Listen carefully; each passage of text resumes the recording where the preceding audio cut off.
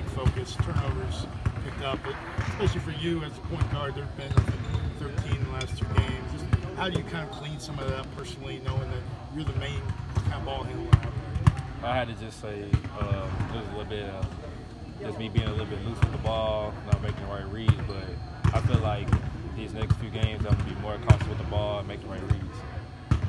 How do you juggle that though? I mean, you're trying to make big plays, you're trying to go fast. The, that's what the offense dictates. So how do you kind of measure that a little bit? Uh, he's just playing off natural instincts. You know, sometimes defense make great plays, but that's why you come in, and watch film, and see how you can go around it. So you just come in, and watch film, practice it, and you do it. Uh, Coach Weber coached you in the U19 World Cup. What did you learn from him during that time? Uh, I learned, um, he taught me a little bit of defense, you know, how to play off the ball, play with the ball, fast-paced basketball. He taught me a lot of things.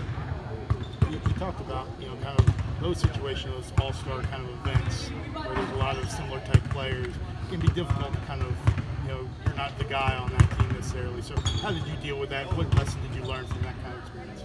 Uh, you know, you're always gonna play with great people. You know, just like people in the NBA, you got role players. So you just learn how to play out the ball, play with great other players. So you just take the good from the bad, and just learn to grow from basketball.